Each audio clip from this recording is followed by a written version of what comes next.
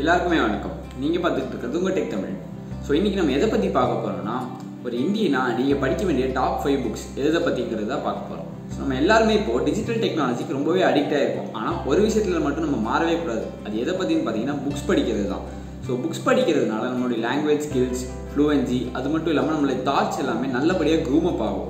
So இங்கிலீஷில் ஒரு நல்ல பழமொழி ஒன்று இருக்குது அதாவது there is no best friend like a book so அதோடைய அர்த்தம் என்னன்னு பார்த்தீங்கன்னா ஒரு புக்கை விட நல்ல நண்பன் கிடையவே கிடையாதுன்னு சொல்லியிருப்பாங்க. ஸோ இதோட ஆழமான அர்த்தம் கண்டிப்பாக உங்கள் எல்லாருக்குமே புரிஞ்சுக்கணும். ஸோ வாங்க நம்ம டாப் ஃபைவ் புக்ஸ் என்னென்னங்கிறத பற்றி பார்க்கலாம். ஸோ நாங்கள் மென்ஷன் பண்ணது போக வேறு ஏதாவது புக்ஸ் நீங்கள் எல்லாருமே படிக்கணும்னு நினச்சிருந்தீங்கன்னா அது கண்டிப்பாக கமெண்ட் செக்ஷனில் நீங்கள் சஜஸ்ட் பண்ணலாம்.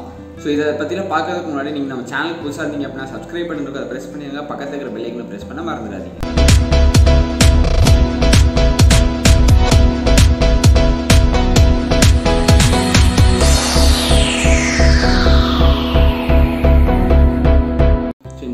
புக்குக்கான லிங்க்குமே கீழே நாங்கள் டிஸ்கிரிப்ஷனில் கொடுத்துருவோம். ஸோ உங்களுக்கு எந்த புக்கு பிடிச்சிருக்கோ அந்த லிங்கை கிளிக் பண்ணி நீங்கள் தாராளமாக அந்த புக்கை படிச்சுக்கலாம்.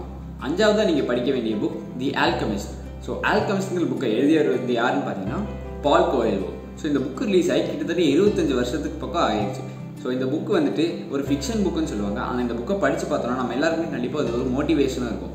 ஸோ இந்த புக்கு எதை பற்றின்னு பார்த்தீங்கன்னா ஒரு ஷெப்பர்ட் அதாவது ஒரு மெய்ப்பெண் வந்துட்டு அவங்க சந்தோஷத்தை தேடி போகிறாரு ஆனால் அந்த சந்தோஷத்துக்கான காரணம் அவர்கிட்டயே இருக்குங்கிறத அவர் கடைசியில் தான் உணர்வார்.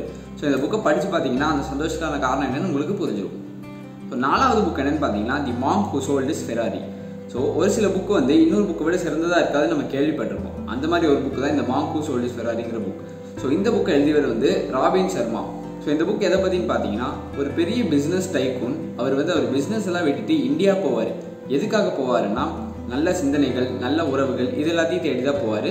ஸோ இந்த புக்கை படித்து பார்த்தீங்கன்னா அது எங்கே போகிறாரு எதுக்கு போகிறாங்கிறத பற்றி தெளிவாக புரிஞ்சிடும் மூணாவதாக நீங்கள் படிக்க வேண்டிய book rich dad poor dad so இந்த புக்கை எழுதுறது வந்து ராபர்ட் கியாஸ்கி ஸோ இந்த புக்கு எதை பற்றின்னு பார்த்தீங்கன்னா ரெண்டு அப்பா ஒருத்தர் வந்து ரொம்ப ஏழை இன்னொருத்தர் வந்து ரொம்ப ரொம்ப பணக்காரர். ஸோ இவங்களை பற்றி தான் இந்த புக் ஸோ இந்த புக்கு படிக்கிறதுனால நம்மளுடைய ஃபினான்ஷியல் நாலேஜ் கண்டிப்பாக இம்ப்ரூவ் ஆகும்.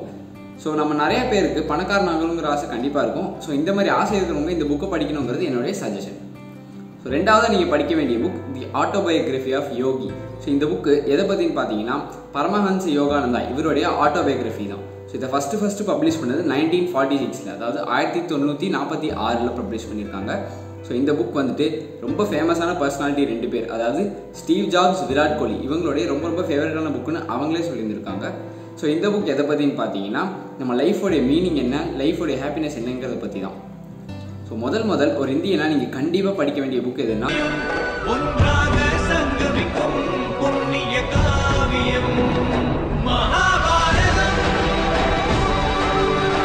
தி பகவத்கீதா.